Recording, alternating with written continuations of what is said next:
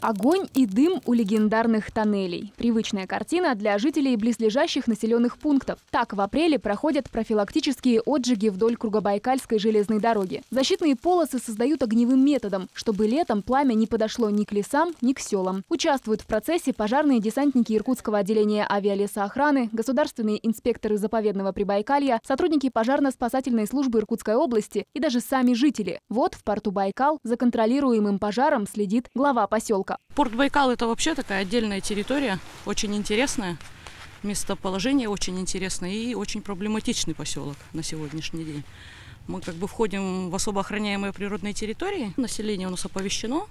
То есть все знают прекрасно. Каждый год у нас в это время все уже привыкли. Для профилактических отжигов всегда выбирают первую декаду апреля. Почва еще замерзшая, поэтому поверхностное пламя уничтожает лишь сухие стебли и не вредит ни земле, ни насекомым. Да и у птиц в это время здесь еще нет гнезд и потомства. К тому же в лесу лежит снег, а значит риски перекидывания огня минимальны. Зато по траве, которая в этом году сгорела, пожар уже не пойдет, рассказывают специалисты. Где создали э, защитную противопожарную полосу огневым способом, это уже надежный барьер барьер э, для э, весенних, летних лесных пожаров. То есть пожар доходит до отожженного участка и останавливается. Для столь жарких процедур подходят только безветренные сухие дни. В такую погоду важно использовать каждую минуту. Объем работы большой, там, где КБЖД проходит в границах нацпарка, а это несколько десятков километров. Работают слаженно и осторожно, группами. В группе люди распределены каждый по своей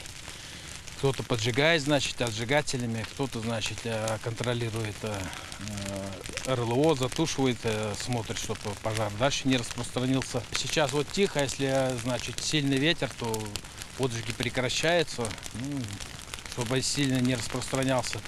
Ну и также осадки, сейчас осадков нету, Трава подсохла, значит, горит хорошо. Профилактику на КБЖД продолжит вплоть до начала действия в регионе особого противопожарного режима. В этом году он стартует 11 апреля. А затем в дело пойдут другие меры безопасности. Сотрудники национального парка будут патрулировать территорию, расчищать противопожарные полосы. Вокруг Старой Ангосолки обновят защитную минерализованную полосу.